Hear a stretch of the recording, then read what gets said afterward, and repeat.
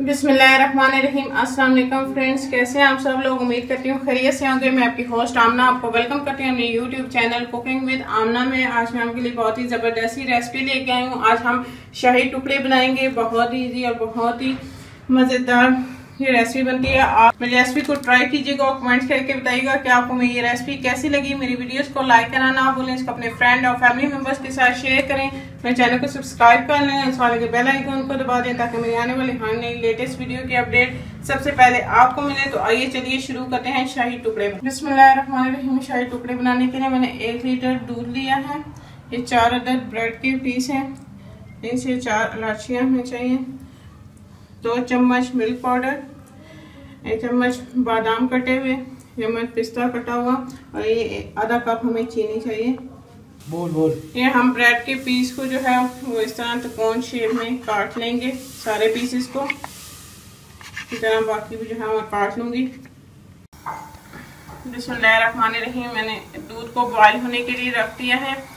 और इसमें हम ये दो से तीन जो इलाचियाँ हैं वो इसको खोल के हम इसमें डाल देंगे और इसको गाढ़ा होने तक दूध को पकने देंगे।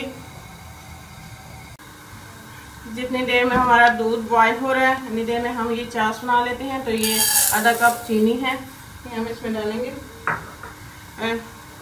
नहीं, हम इसमें पानी शामिल कर लेंगे। और चीनी को हम थोड़ा सा चम्मच लाते हुए डालेंगे, ताकि चीनी हमारी मेल्ट हो जाए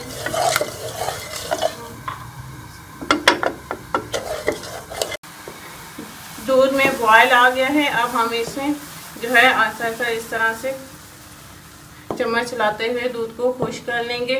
हमने ये जो ऊपर बुलाई आ रही है, साइडों से उतारते जाना है। इसको इस तरह गाढ़ा होने तक जो है वो दूध को पका लेना। हमारी चीनी जो है कि मेल्ट हो गई है। अब हमने इसको थोड़ा सा गाढ़ी सी जो है वो चाश बनानी है। और हमने बहुत ज़्यादा जो पतली नहीं रखनी है, एक से दो तार जो है अपनी चाश बनानी है। चाश जो है वो अच्छी तरह से तैयार हो चुकी है, लेकिन किस तरह ये ठीक हो गई है? अब मैं चूल्हा बंद कर दूँगी और चाश को जो है वो ठंडा होने देंगे। तो पैन के अंदर मैंने थोड़ा सा घी डाल दिया और इसके अंदर हम ये स्लाइस जो है ये फ्राई कर लेंगे। अगर आप चाहें तो आप इन्हें डीप फ्राई भी कर सकते हैं। लेकिन इस तरह भी जो है वो आप इस तरह से गोल्डन होने तक दोनों साइड से फ्राई कर लें। इसके अंदर स्लाइस रख के ये माश पे से फ्राई कर लेंगे। स्लाइस को, दोनों साइड से गोल्डन होने तक। हमारे स्लाइस जो है देखें किस तरह गोल्डन हो गए फ्राई हो गए, ज़बरदस्त हम इसे निकालूँगी और इस तरह बाकी भी जो है वो फ्राई कर ये स्लाइस जो है वो फ्राई हो गए। हैं हमारा दूध जो है वो बाकी आधा हो चुका है देखिए गाढ़ा हो गया। हम इसमें मिल्क पाउडर शामिल कर लेंगे। इसे भी मिक्स करके हम पका लेंगे। ऐसे और सब मजीद गाढ़ा कर लेंगे।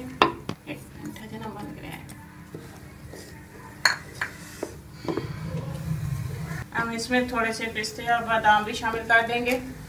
और इसे गाढ़ा होने तक पका लेंगे अच्छे से। ये हमारी ज़बरदस्त रबड़ी जो है वो तैयार हो गई है, हम इसे ठंडा कर लेंगे।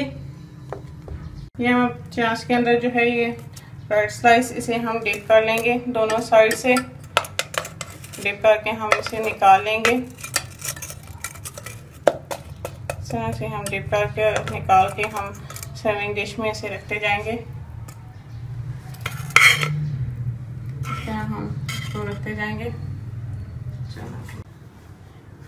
मैंने सारे स्लाइस के ऊपर जो है वो चाशनी लगा दिया, इसे सर्विंग डिश में लगा दिया। अब हम इसके ऊपर रबड़ी डालेंगे। इस तरह इसके ऊपर जो है हम रबड़ी डाल देंगे।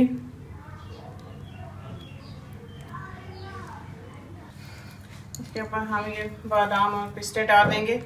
तो ये हमारे ज़बरदस्त से जो हैं वो शाही टुकड़े तैयार हैं। तो हम पिस्ता डाल देंगे।